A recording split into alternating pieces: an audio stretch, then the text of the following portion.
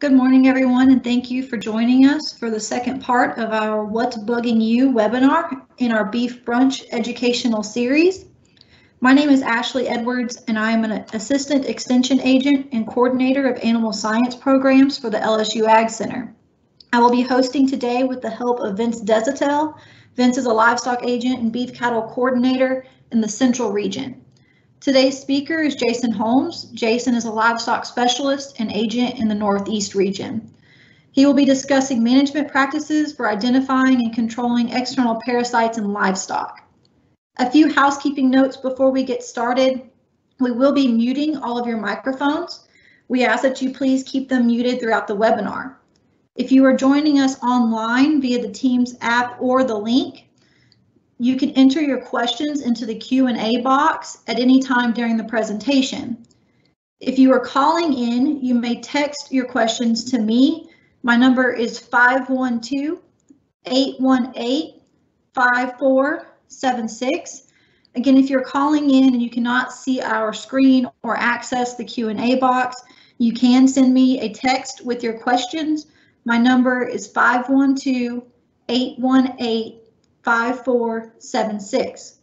In the interest of time, we will wait to answer all of the questions until the end of the presentation.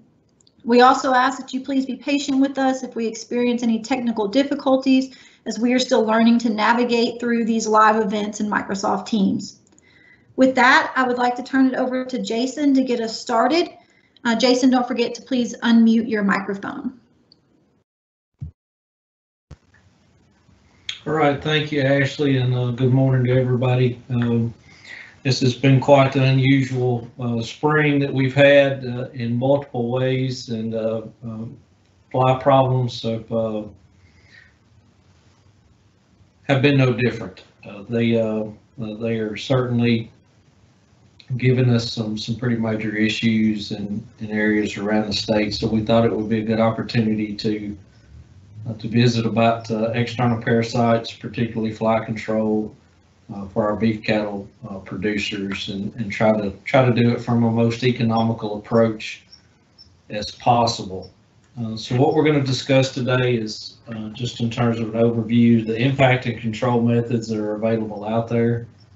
Uh, the, the flies that we're going to focus on, uh, the most important economical flies, the horn fly and the stable fly, will be where we'll spend most of our time. Um, uh, the horse fly and deer fly can also be some periodic pests, and then the black fly, the buffalo gnat, uh, can also be uh, some of those periodic pests that we have out there and can be can be an issue for us. But uh, we'll spend most of our time talking about hornfly and stable fly, the impacts that they have on our beef cattle herds, uh, and also the control methods that are out there for us. Uh, the, the diagram that you have there on the slide uh, gives us a good indication of where we can expect to see some of these flies present on the animal at any given time. Uh, and those will be important to us as we move through some of this uh, in terms of uh, proper identification and just being effective in terms of the uh, the control methods that we try to put in place on our herd. So impact of external parasites. So whenever we're talking about some of these blood-sucking fly pests, the horn fly, the stable fly, many species of tabanids. So those tabanids would be the deer fly and the horse fly. Uh, they are uh, major pests to us. Some of them can be uh, continuous pests all season long, like the hornfly, the stable fly, and some of them could be periodic, uh, similar to the tabanids, the black flies, and even mosquitoes. I mean, we're not going to tackle mosquitoes today. I think we've got enough interest out there. We can certainly get some of our entomologists to to provide us a talk on on mosquitoes. We're not going to tackle that one today, but that one also can be a a major pest to us in certain parts of the state.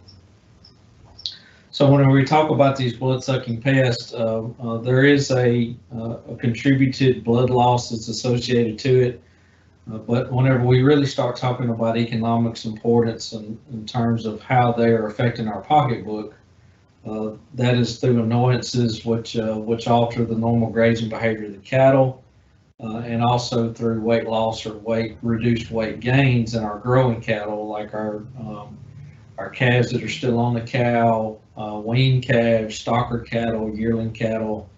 Um, whenever we cannot get the appropriate weight gains uh, that we need, um, then um, um, then we can certainly start having some issues there in terms of economic losses. And also the expenditures for the fly control methods that we put into place uh, can also have an impact on those, uh, on the economics of, um, of fly control.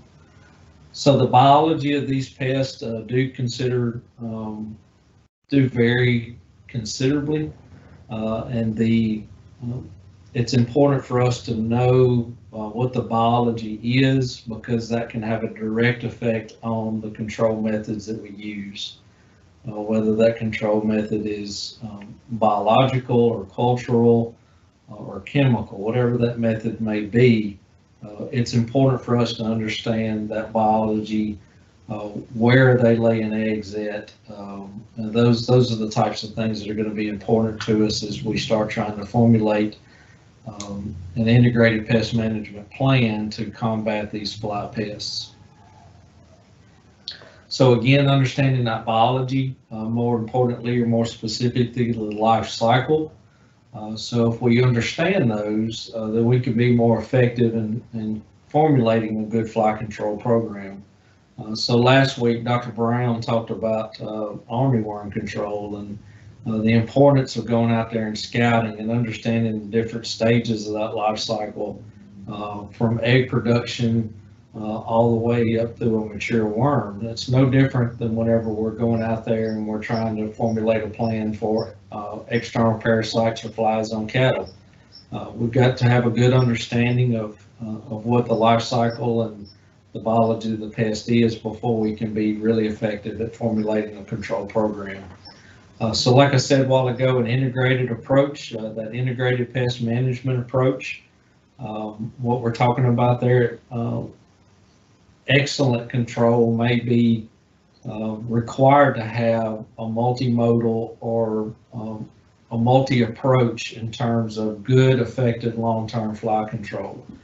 Um, most of the time in Louisiana, just because of the environment that we have, uh, and the optimal growing conditions that we have for some of these fly pests, it does take that multimodal approach in order to provide that good, effective, long-term fly control. Um, we've got a lot of good measures out there that we can use for short-term fly control. Um, but uh, whenever they're only lasting us uh, three to four weeks, then uh, then that can be an issue for us in terms of labor, in terms of just cost of products. Uh, so we've got to take that into consideration. So uh, with anything that we do in extension, uh, whenever we start talking about using chemical control measures, uh, any type of pesticide, uh, it is vital that you read and follow that pesticide label. Um, that pesticide label for what we're talking about today could be on a spray, it could be on a ear tag, uh, it could be on a back rubber product. Uh, all of those are going to have chemicals in them. Uh, and as part of the law, they're going to have a label that's attached to it. And it's important for you to read and follow that label um, to make sure, number one, that you're within the letter of the law, but number two, that you're optimizing the dollars that you have spent on that product uh, and that you're uh, you're using it the way the manufacturer uh, claims that it will work in a manner that it will work uh, in order to uh, to make sure that you're you're getting the bang for your buck. So the different controlling uh, measures that we have out there, uh, the ones that we're going to look at, non-chemical um, and then chemical. So under the non-chemical methods there, the biological control, I've got fire ants, parasitic wasps, dung beetles uh, listed. So, um, you know, we know in Louisiana, we have no issue growing fire ants. Uh, fire ants are a natural enemy uh, of these uh, fly larvae. Um, the downside of that is we all understand the other nuisances and the other problems that fire ants can create for us. Um, but uh, they are definitely uh, a natural enemy of those uh, of a lot of those fly species. So parasitic wasp, Um, uh, they, uh, they are a, a very viable option for us, uh, in terms of controlling some of these, these fly species. Um, locally, there's not a, uh, a good bit of resources for those parasitic wasps. You can get online, uh, one that, uh, that I know several folks in Louisiana have had success with is Spalding Labs. Um, they will, uh, they'll provide those wasps to you, have an excellent buying experience, so that's just one option for you. Uh, it can get costly. Um, it would be comparable in cost um, to the one-time purchase of ear tags, but uh, you got to apply that over several months, so it could be up to um, uh, four to five dollars per cow per month. Um, we can expect a cost related to fly tags of five dollars per cow, but uh, that would be for um, three to five months of control. So it could get quite costly to to incorporate some of those parasitic wasps. And then the dung beetle, uh, there is uh, there is some uh, university research out there that shows that the dung beetles uh, can be a proven natural predator uh, for some for hornfly control because of the fact that the hornfly lays their eggs in fresh manure pats. That that dung beetle dung beetle can be a, a, a viable pest out there, natural uh, occurring pest that can control that. Cultural methods, management methods such as rotating or dragging pastures, uh, rotating pastures, dragging pastures. So rotating pastures trying to prevent a manure, a manure buildup and dragging pastures so that we can uh, get that man- manure out into uh, thin layers across the pastures, which will help us in terms of horn fly control, uh, manu- removing manure and wet decomposing hay. Uh, so as we go through this, you'll learn that the stable fly, which is another one of our major economic pests, lays its egg in that, uh, uh, the, its eggs in that decaying uh, um, organic matter uh, old hay feeding areas. Uh, if you've got cattle in confinement, um, that, that decaying manure and hay and all of that um, um, is where that stable fly is going to lay its eggs. So removing a lot of that, uh, that decaying organic matter, uh, you can also um, cut down on the on the environment or the that optimal environment where that uh, that particular fly wants to lay its eggs at and congregate at. And then chemical control, uh, so insecticides, uh, topical, uh, they can be oral. So uh, we're talking about pyrethroids, macrocyclic lactones, and organophosphates. Uh, so our, um, our pyrethroids, uh, they can be in the form of ear tags, pour-on sprays, rubs, dust, and formulations for pour-ons from 0.5% up to 10%, and spray and rub formulations from 1% up to 40% uh, in terms of those pyrethroid products. So those can be cyfluthrins, permethrins, zeta-cypermethrins, lambdicides. Uh, those are the ones that we hear most often. Uh, the macrocyclic lactones can be in the forms of ear tags and pour-ons. Uh, so those can be uh, like abamectins, so the uh, the popular uh, remote delivery capsules that uh, that you can get through a vet gun applications. They're going to have abamectins, uh, XP820 tags, Trizap tags will be examples of those abamectins. Uh, the ivermectins, uh, that would be Ivomec, um, uh, delivered through a pour-on or an injectable. Uh, so anytime we use the ivermectins, uh, we know that there's a 48-day with slaughter withdrawal period. So again, those are important for you to read and understand and follow the label uh, in terms of these slaughter withdrawal periods. Uh, moxidectin, which would be an example of cydectin, uh, Doramectin, which would be Dectomax. Again, there's a 45-day withdrawal period associated with Dectomax. And then eprinomectin, if I can get that spit out, which would be Eprinex. So that would be uh, uh, the classes that will be associated with your macrocyclic lactones. And then organophosphates. Uh, many of these organophosphate uh, products that are available through uh, sprays uh, will more than likely have a restricted use pesticide label attached to them, uh, just because of the dangers associated with organophosphates. Uh, so these products can also be found in ear tags, sprays, rubs, and dusts. Uh, the dust formulations would range from one to six percent, and the spray formulations from six percent up to fifty percent organophosphate. Um, and those would be so some of the common names and those organophosphates that we've heard about for years, like diazinon, uh, can be found in ear tags. Um, uh, dichlorvos, uh, vapona uh, would be an example of that. Again, there's withdrawal periods. There's a one-day withdrawal period uh, associated with that product. Chlorpyrifos, which would be um, found in ear tags. Uh, Coumaphos, uh, a trade name that's very popular or very well known would be Corral. Uh, and then Phosmet um, would be another organophosphate. Uh, there's three day withdrawal periods, uh, slaughter withdrawal periods related to that product. Uh, again, very popular ones that we hear about quite a bit, see a lot on the store shelves, would be Prolate Lintox HD. Uh, one that uh, we don't see as, as often out there on the store shelves, but Paramite LA uh, would be an example of that phosmet.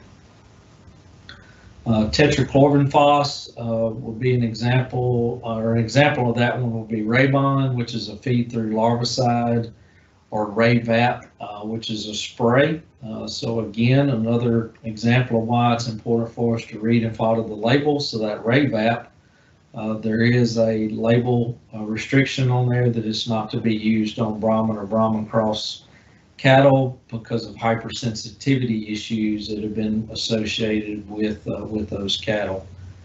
And then we have the orals, uh, the feed throughs. So those can be insect growth regulators or larvicides. Don't confuse the two. Um, so insect growth regulators um, um, are very helpful to us. Um, diflubenzuron, Justify, ClariFly would be some trade names. So you also might be familiar with diflubenzuron because we also use that in the formulation of Dimilin 2L for uh, armyworm control. Uh, we can also use that same active ingredient uh, uh formulated as uh, um, as a feed through uh, that can help us with some of those um, with with insect growth regulators or IGRs. Um, and then uh, methoprene, which uh, you might see that in the trade name of Altosid. Um, and you also might see some of these IGRs, uh, particularly diflubenzuron, that are now being combined with permethrins um, uh, as a pour-on product. Uh, so uh, that's one of the newer combo treatments that are out there where you can get some IGR action and immediate uh, knockdown action through permethrin in some of these combos. Uh, so a lot of times you'll see in these uh, these chemical formulations that uh, that you'll see uh, an inert ingredient, uh, piperonyl butoxide. that's a synergist, so it increases the toxicity of the effectiveness of the, the chemical that you're using. You will see that product a good deal on a lot of these um, a lot of these chemical products, uh, sprays, ear tags, many of them will have that inert ingredient in there, which increases the effectiveness of that, of that particular pesticide. Um, and again, uh, just I cannot stress enough that anytime we're dealing with these food animals, uh, it's important to, to pay close attention to those slaughter withdrawals and how that may affect you in your particular situation. Uh, so just make sure that you read and follow those uh, follow those label directions. So whenever we get into uh, um, talking about some of these um, particular fly pests, we talk about economic uh, thresholds. Um, so uh, we know that uh, with the uh, the horn fly that we're talking about an economic threshold, 250, 200, 250 flies per side. Uh, we know through research uh, that whenever we do exceed that threshold, that economic threshold with these horn flies, that we can start seeing calf weight loss of um, um, up to one, uh, 0.10 pounds per day. And then these stocker weights of 0.2 pounds per day. And anytime we start talking about decreased um, weight gain or weight loss, uh, we know that directly correlates to us in an industry where we're trying to put pounds on trailers. Uh, we have lost revenue. Um, so anytime we exceed that threshold, uh, we know that we're going to be suffering uh, an economic loss. Uh, so the reason we incorporate uh, control measures, whatever control measure you may choose to use on your operation, the reason that we do that is for economic reasons. Uh, we're trying to uh, increase weight gain or get optimal weight gain, and we're trying not to suffer from weight loss. So uh, just uh, um, a good a good picture here from Dr. Jason Banta over at Texas A&M Overton. Uh, so that's a, an approximately 197 flies there on the side. Uh, so my good friend Lee Falk, I don't think he's on with us today, but uh, spent a good bit of time at the Hill Farm back in the day counting flies. Uh, it's a very challenging job, but uh, a good rule of thumb for you in terms of um, uh, estimating horn flies on the side. So if you get a an area on that animal about the size of an eight inch pie plate that is covered in horn flies, uh, you know that you're probably getting real close to that, that economic threshold of 200, 250 flies per side. Uh, so it's important for us to understand what that looks like so we know that whenever we are getting to that economic threshold, it's time to uh, to incorporate uh, some sort of uh, control measures. So this would be a good example. I mean, uh, we would assume just by looking at the uh, the number of flies that are present there in that picture, uh, whenever they um, those horn flies will get up and swarm, and then they'll come back and rest on the animal. when we see these type swarms, we're probably pretty sure that we need to start incorporating some control measures. So uh, insecticide impregnated ear tags, um, uh, very, very common uh, for control of these fly pests. Um, convenience factor, uh, we have do have to run them through the chute, but in terms of getting some long, uh, long-term residual uh, control of these fly pests, we know that that we can use and have have a decent amount of success with using these fly tags. Active ingredients that uh, that are out there fall into five broad chemical categories. So the pyrethroids, organophosphates, the macrocyclic lactones, and then we have combos of pyrethroid and organophosphate or pyrethroid and macrocyclic lactones. So uh, we have the basic pyrethroid organophosphate macrocyclic lactones, but then we have can have some combos of those as well impregnated into those ear tags. So it's important to remember that uh, we do need to rotate that insecticide class on these tags. So uh, we don't want to use those pyrethroid tags uh, any more than once every three years. Uh, so we want to incorporate uh, something in the, in the interim of that, but we do not want to use those pyrethroid tags in order to try to control some of this uh, pyrethroid resistance that we have out there uh, do not incorporate those more than once every three years. And again, it's also important for us to uh, uh, to remember that we need to follow the label instructions in terms of when to remove those tags, when they're no longer effective, when the label recommends, or in the fall.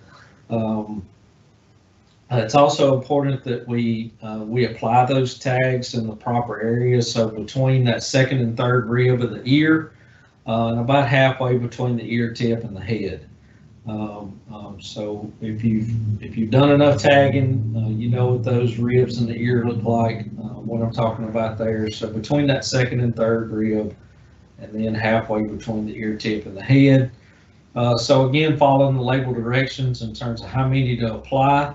Uh, most labels will tell you um, uh, one to two tags in the mature animals, so one tag in each ear. Uh, but uh, again, follow that label of direction in terms of how many tags to use. Uh, it'll also tell you if that tag is recommended to be used in calves. Uh, so a lot of them that if you get out there and read the label, it will tell you to apply one tag in the ear of the calf. But it, some of them, it will also tell you on the label that you're not supposed to apply it in tags less than three months old uh, for fear of, of getting some ear damage. Uh, so again, read and follow the label directions for these ear tags in terms of how many to put in mature animals uh, for um, uh, for effective long-term optimal control. And again, read the uh, the tag label uh, to figure out if you need to put it in uh, the ear of the calf and what they recommend in terms of the minimum age that you can put that tag in. So some of the periodic methods that we've got out there, sprays, pour-ons, dust, rubs, uh, remote delivery capsules, uh, all of those are what we're talking about in terms of periodic methods. Um, uh, these products are plentiful when it comes to fly control. Um, uh, one thing to keep in mind that the majority of these fly control methods in terms of chemical methods were actually developed for horn fly control. Uh, so uh, that's uh, that's helpful to know to it for us that a lot of these that will look at the label, they're going to have horn fly control on there. They do provide good complementary control. Um, again, uh, there, a lot of them were developed for horn flies. So just a couple of tips here in terms of some of these periodic methods. Uh, for back rubbers, it's important to use a mineral oil or vegetable oil to dilute the concentrate. Gives us a little bit of sticking power, if you will, to those uh, to those products. Uh, in order to, to follow BQA recommendations, we don't want to use waste oil, motor oil, diesel fuel, those kind of things uh, in order to adhere to those BQA protocols. Uh, so a good rule of thumb, one gallon of mineral oil or vegetable oil per 15 to 20 feet of back rubber uh, is sufficient.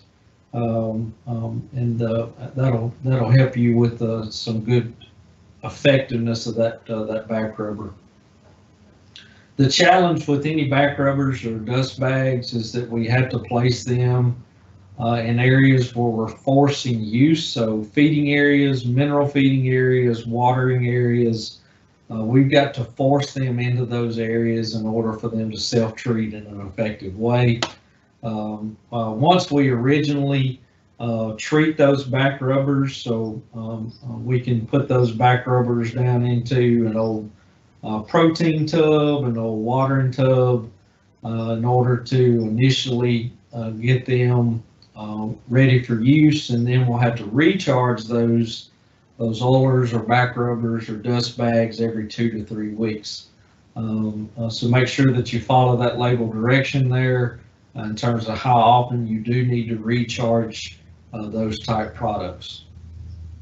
Uh, so those ready to use formulations or pour on insecticides uh, is what we're talking about there. So whenever we apply those, we want to make sure that we're applying those between the withers and the tail head um, uh, for optimal control or optimal use of those products. Again, retreatment is going to have to be made in three to four week intervals, uh, especially whenever fly pressures are high. Uh, you also need to read on the label in terms of rain fastness. Uh, so some of those products will need to be on there for about 24 hours before they are considered rain fast. Um, uh, so it may be important for you to, as you read that label, to pay attention to what the weather's going to do. Um, uh, I know that a lot of times that's just an educated guess, uh, but uh, we do need to read that label and take that into consideration whenever we are using those pour on products, I cannot stress enough to you, don't overdose, underdose. Um, um, again, I say don't underdose. Uh, some a lot of times we don't have on farm scales. We don't uh, we don't have just a really good solid uh, number of what our cattle weigh. But uh, y'all are educated folks. Uh, you've been around the business. You have a, a pretty good idea what your cattle weigh. Um, so anytime that we underdose those cattle, we get ineffective treatment, and that's when we start encouraging uh, pesticide resistance. So uh, follow the label direction of what it tells you to use in terms of that pour on product. Uh, don't try to cut corners there. Uh, provide the uh, the dose that it's telling you to use.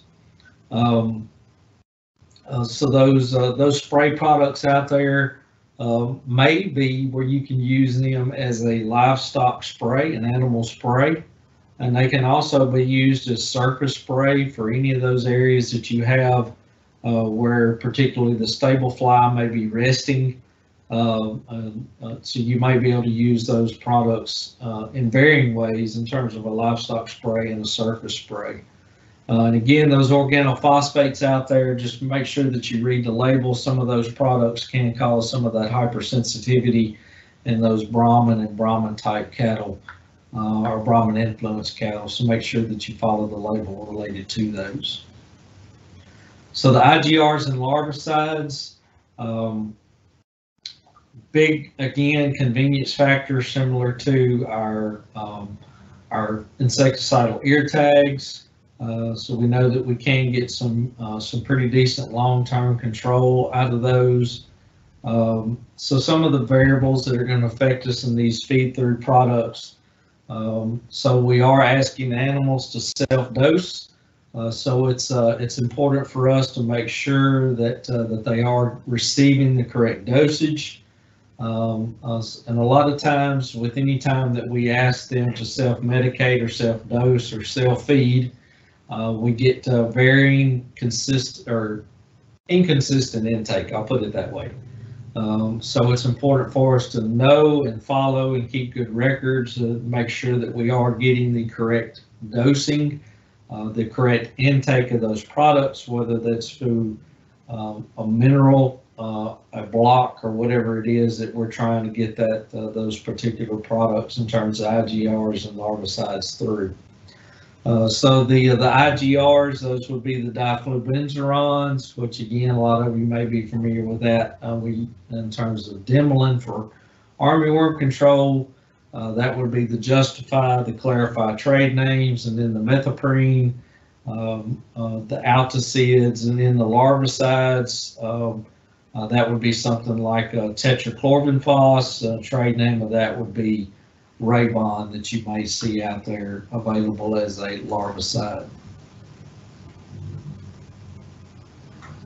So as we move into the horn flies, the description of the horn fly, um, they bite cattle, they feed on their blood, um, we, they make it lose weight, uh, they make us not gain weight. Uh, so uh, I think it's important for us to have a good picture there to uh, to just give a good description of what that fly looks like. Um, uh, so some um, uh, an easy way to tell that you have uh, horn flies is um, one caveat to that particular species is whenever they're resting on the cattle and they will rest, so they will feed and rest on the animal. Uh, most of the time that whenever you look at those animals, they'll be with uh, resting on the animal with their head facing towards the ground. Uh, so that's a quick caveat about that particular species that uh, that will help us in terms of proper identification. Uh, so the uh, the hornfly maggots uh, develop under fresh uh, manure pats. So the fly lays the egg in the edge of the fresh manure pat. That's where that uh, that maggot will develop. they prefer those pastured cattle in terms of manure pats. Um, uh, they seem to not prefer the manure pats of cattle that are on high energy concentrate diets. Uh, they like those manure pats of those pastured cattle eating grass. Um, uh, those females can lay up to 500 eggs uh, in that lifetime, so uh, we can get some very large populations build up over the summer pretty quickly. Uh, so the horn flies normally feed on the backs and sides of cattle, although they uh, they can be they can be observed uh, uh underneath the uh, the belly of the cattle up during the day. Uh, they don't like to get hot, so they will move up underneath the the back or underneath the belly of the animal during the day. Um, so the reason they got the the name horn flies because um, uh, they have been identified to congregate around the horns of cattle. Uh, so that's how they actually got the name horn fly.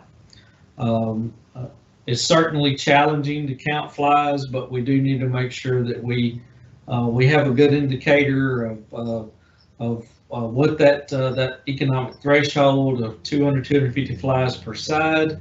Again, remember that, that pie plate rule of thumb. So if you get a, um, a, a congregate of flies resting on the cattle, uh, and that group, uh, that congregate group is about the size of a pie plate, then you know that it's time to incorporate some, uh, some, some control measures. Uh, so again, those horn flies, like I said, they do uh, stay on the animal almost continuously. Um, uh, they do rest with their heads pointing downward. During extreme hot weather, they will move to the underbellies. Uh, they seem to be um, uh, more attracted to dark hided cattle.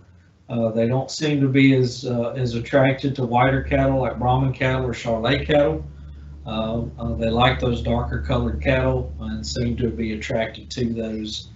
Um, and again, the uh, the importance of those uh, that flies is the weight loss uh, and related uh, decrease in weight gain that we can get um, due to that particular species of fly. so rotating pastures, dragging pastures, uh, trying to spread that manure in thin layers is uh, some of those non-chemical control measures. Um, chemical control measures, periodic uh, methods, um, and, also ear tags, um, and those are those are very effective for us. Where we can get some uh, those ear tags can provide us that long-term control, and some of those periodic methods can help us with short-term control uh, three to four weeks of, of control, uh, especially whenever we get populations that uh, uh that may blow up on us pretty quick. Um, uh, so those um, sprays, pour-on, self-treatment, um, remote delivery. Uh, so when I'm talking about self-treatment, so that'll be those cattle oilers, dust bags, back rubbers. all of those are what we're talking about in terms of self-treatment. So I will back up to that one real quick. So on the, the picture on the right, right there, that's uh, that's what we're talking about in terms of those remote delivery capsules. The vet gun uh, has uh, uh has found its place in the industry for offering another um, tool in our tool belt for fly control. Um, that's a that's an indication of uh, uh, that spot on that red calf there is an indication of what we get with that uh, uh, with that remote delivery capsule uh, whenever we're uh, applying that to the animal. So IGRs and larvicides can help us prevent hornfly larvae from developing into adults. Um, uh, so the immature horn hornflies, the maggots are exposed to those chemicals in the manure pats uh, and uh, uh, prevents them from going through that life cycle. Um, uh, so the larvicides will be where we're actually killing the larva. Uh, the IGRs is where we're preventing, uh, we're providing that, that chemical which ends up in the manure pat and it prevents that, that species from actually going through um, or developing into the next stage of, of that life cycle. So moving on into the stable fly. Uh, uh, so again, looks a lot like a house fly, smaller. It's about 3 sixteenths in, it, uh, uh, in length. Uh, very painful um, uh, feeding whenever they whenever they're feeding on the animals or whenever they're feeding on you. they will feed on us as well. Um, they do mainly feed on cattle and horses. Uh, but they have been known to feed on small ruminants and also swine, dogs, and of course they feed on us as well.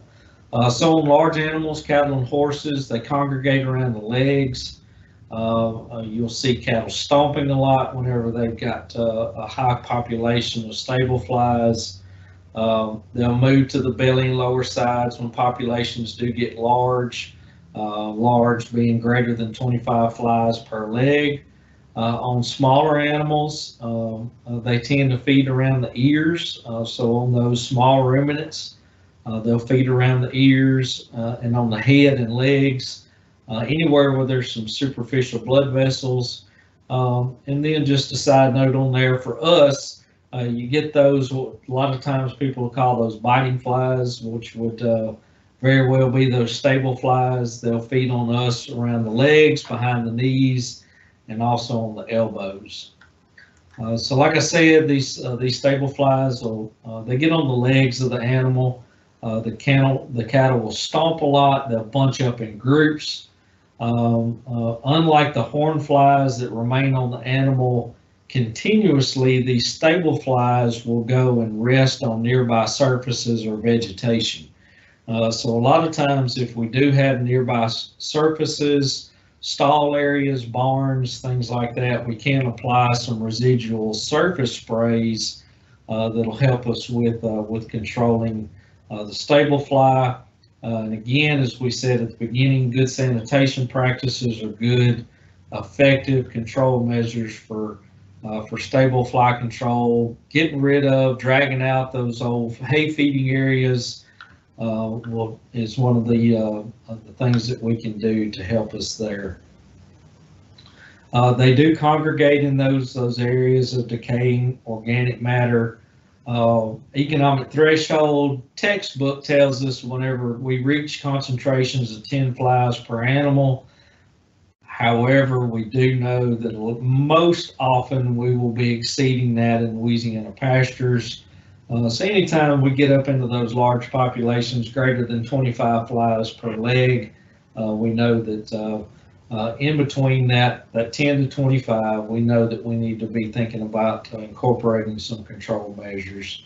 Um, uh, so the reason they have an impact on cattle is because uh, uh, the animals become stressed and they spend less time feeding. So a lot of times whenever you see cattle uh, waded out into a pond or a livestock um, watering stock pond, and all they've got is a little part of their neck and their head sticking out of the water, uh, uh, a lot of times, not all the time, but a lot of times they're trying to get away from those that faint that painful feeding of that uh, of that stable fly.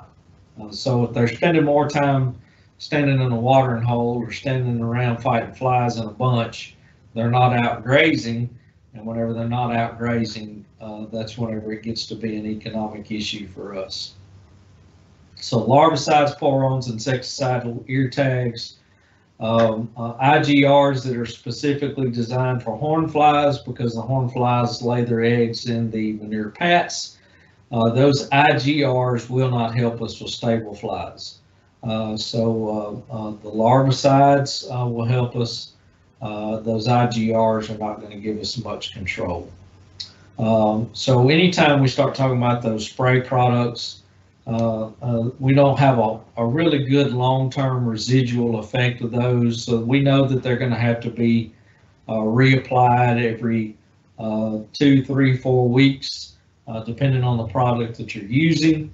So they're going to have to be be periodically reapplied in order to keep that that amount of effectiveness that you're you're seeking. And then we're going to move through these pretty quick. Uh, uh, the horsefly and the deer fly, uh, we know what those are. They feed on us, they feed on our livestock. Um, uh, they are very difficult to control because um, uh, cattle are just a very small part of their life cycle. Uh, for the most part, they're independent of livestock. the adult female depends on that livestock um, uh, for only just a few minutes uh, for that blood meal, and then they go somewhere else, uh, uh branches overhanging water bodies and things like that to, uh, to, to lay their eggs. They don't lay their eggs in those old hay feeding areas. They don't lay their eggs in those manure pats. Uh, the rest of that life cycle is independent of, of livestock. So it gets to be pretty difficult for us to to have effective measures to uh, to control those uh, those pests. But uh, and there are some uh, some chemicals out there. Um, uh, just look for those that do contain that piperonyl butoxide uh, in terms of, of animal sprays. they can provide a certain amount of repellency for you. Um, those uh, synergists uh, do help with us the uh, help us with the effectiveness of those sprays whenever it comes to horse flies and deer flies. So another periodic pest that we do get Uh, the black fly, a lot of times we'll call them buffalo gnats. Um, uh, they can be an issue for us in terms of uh, beef cattle. They can be an issue for us in terms of horses. Uh, they can be an issue for us in terms of backyard poultry. Um, uh, I probably get more calls on this particular pest in terms of backyard poultry and horses than anything. Um, and we're we're lucky with those two animals that we can stall them or coop them during the day whenever this uh, this fly uh, seems to be most active. Uh, that uh, that does not prove uh, an option for us in terms of beef cattle because it's we don't typically stall them during the day. but we can do some things like um, burning burning old hay, making some smoke out there, getting those cattle away from aquatic sources, which is where those uh, uh, those animals of that particular species of fly, uh, they congregate and the majority of their life cycle is related to those, uh, those areas of moving water. Uh, but we do see some, uh, some areas around the country to where this black fly can uh, cause some major economic issues in terms of livestock losses. just um, in terms of death of livestock, and they are relentless whenever they get into some heavy populations and uh, most of that uh, those losses are related to suffocation of the animal. Uh, whenever they get uh, whenever that fly gets into really really heavy uh, populations. And and some of y'all that may be listening to this you know what I'm talking about in terms of they're just relentless feeders and um, and they, they can be a major issue for us in terms of those livestock deaths, not particularly related to, to weight losses, but we're actually losing animals because of those high populations. All right, so some uh, some management considerations as we start to wrap up. Um, it's important to understand that uh, anytime we're combating uh, these external parasites, uh, most times, especially in high population times during the summer, we've got to take a, a multimodal approach. So uh, anytime we think we go out there and we, we put out uh, an IGR through a mineral mix or we put in ear tags, if we think that that's going to be a silver bullet one and done, um, um, a lot of times uh, that is uh, that may not be the case. We may have to uh, get out there and make uh, make a multimodal integrated pest management approach to to this to this fly control that we're trying to achieve. Um, y'all, there's a vast array of products out there, um, and make sure that you read the label. Make sure that you go back to the front of this presentation and understand the difference between um, uh, pyrethroids, the difference uh, related to organophosphates and macrocyclic lactones, all of those products that we use So make sure that you're just knowledgeable of those products and understand how each one of those products works. Uh, also understand that uh, each one of those products may work for a specified amount of time. They're going to have, uh, they may have different ways that they can help you with uh, with different stages of the life cycle, and certainly they may be for certain targets. Uh, so make sure that you uh, you pay attention to those labels related to that. Um, uh, so, like I said, eliminating these pests at 100% may be unrealistic and close to impossible. Uh, but whenever we do uh, commingle some of these some of these management options that we do have, uh, we can be 90, 95% successful at controlling these fly pests. Uh, so incorporate that in integrated pest management plan, uh, combating these fly pests and, and trying to do the best that you can relative to economics um, uh, in order to control the, uh, the pests that are giving you the most economic damage. so one other thing I'll mention here, and I'm going to read some of this because I think if if I mess up some of these numbers, it uh, may not have the same same effect. So LSU Ag Center research shows that calves treated for uh, for internal parasite control, internal parasite control. So we're giving those calves a dewormer, And those dams who were treated for horn flies were approximately 23 pounds heavier than untreated calves and dams at, uh, at weaning. So, related to present day economics, so if a 550 pound steer is valued at $1.36, uh, 23 pounds of added weight equates to $26.33. So if we spend an extra $5 a head for insecticidal tags, so that would be a tag in each ear in that mature cow, about $5 a head. And then we treat that uh, those calves for internal parasites and blackleg uh, vaccine. We're going to spend an additional $2.30 a head on the calves. So with that additional five dollar head on the cat on the cow, two dollars and thirty cents a head on the calf, we're still in the profit of twenty four dollars a head. Uh, just in the added weight gain that we're going to get in those calves. So I know it looks like that we're spending a little bit of extra money in times whenever money's pretty tight, but whenever we actually look at it in terms of uh, adding value to the calf in terms of additional weight gain, we can show that uh, uh, that we can get some profit out there, profitability out there in those calves. Uh, so one other thing is just a couple other caveats. Uh, we realize that there are some additional flies out there that may uh, may cause us some issues. one of those being face flies. so face flies are those flies that are not biting, they're not blood sucking. Uh, they're feeding on the uh, the facial secretions around the nose and the eyes. So a lot of times we can get some pretty effective control of those with some insecticidal ear tags. Uh, oilers and back rubbers also have a good bit of effectiveness for controlling face flies because the cattle want to butt on those things. They want to butt on the back rubbers. Uh, they want to butt on those those oilers. Uh, so they get those those products on their face, uh, which will help us in controlling face flies.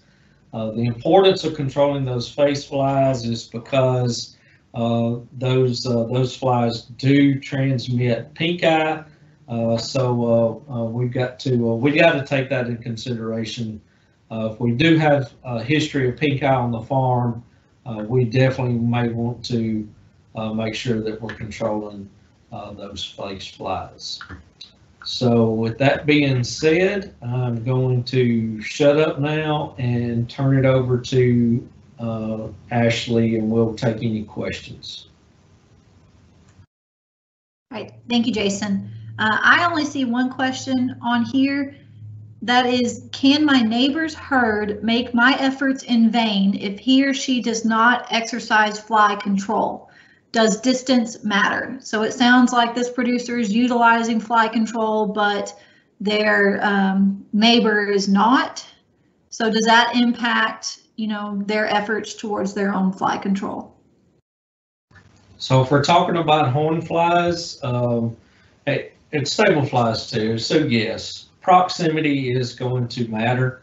Uh, but is it uh, is it all in vain? No. So what I would do is look to incorporating specifically uh, for horn flies. I would look at incorporating an IGR uh, that uh, uh, that could help you in terms of some of of controlling some of those um, non-domiciled fly populations, if you will or even a larvicide uh, that uh, that could help you in terms of some of those stable flies. So yes, proximity does come into play, uh, and we can't uh, we can't always direct what our neighbors are doing, but uh, if we incorporate some of those larvicides and IGRs, it could help us with some of those non-domicile populations.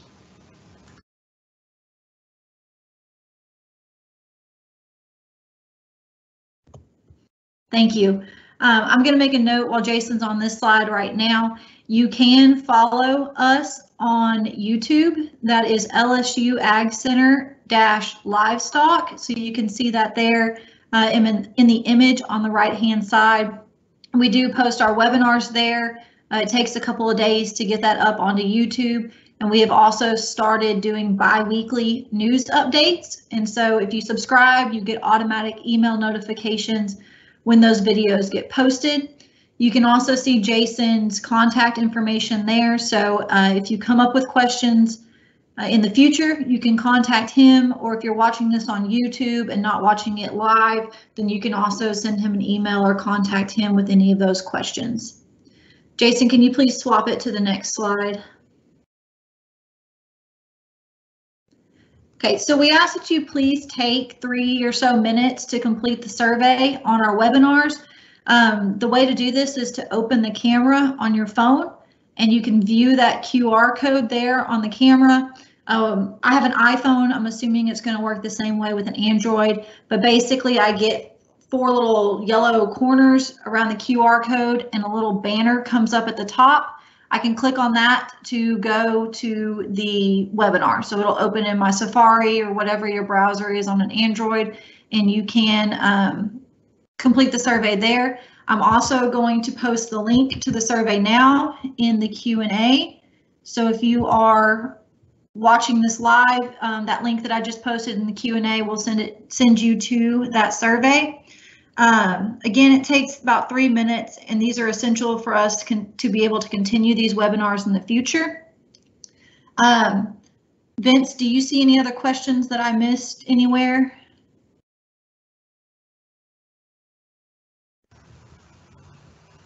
No, I, no, uh, no, I do not. Okay, thank you. So with that, we're going to thank you again for joining us on our Beef Brunch webinar this morning. Um, just again, we are going to post these online. It will take a couple of days, but you can go to LSU Ag Center livestock on YouTube to be able to view these.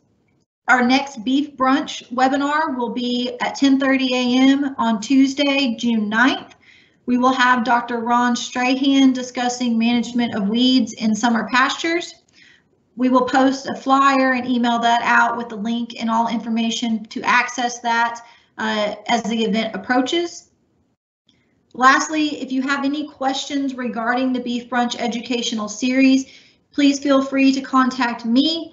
My email is akedwards at agcenter.lsu.edu, or you can reach me at 512 818 5476. Thank you all and have a great day.